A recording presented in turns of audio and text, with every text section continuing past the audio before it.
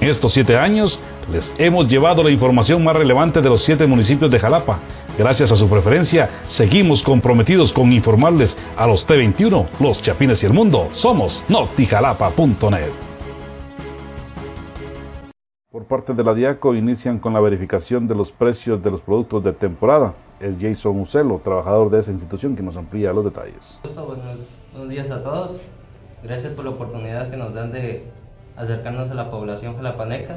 Queremos comentarles de que desde ya estamos iniciando los operativos, verificaciones, eh, para darle seguimiento a los precios que se han venido dando en otros años. Verificaremos eh, productos de temporada como lo son productos de, para el fiambre, ¿sí? en mercados, supermercados, donde sean comercializados todos estos productos, para verificar que se mantengan los precios establecidos y o ver si hay incremento o no a, a todos estos eh, productos. Jason, si se encuentran negocios que estén comercializando estos productos de manera exagerada en cuanto al tema del precio, ¿qué acciones tomará Diaco?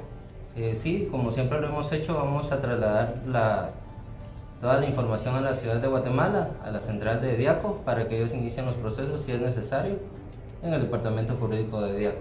Jason, si alguna persona que va a comprar los productos de temporada y estos están sobrevalorados, pueden poner la denuncia en las oficinas de Diaco o a través de, de qué número pueden hacerlo. Así es, lo pueden hacer a través del 1544 o bien se pueden acercar a estas instalaciones para poder la, las denuncias correspondientes para que nosotros le demos seguimiento, indicando que siempre se van a trasladar los, la información a la ciudad de Guatemala.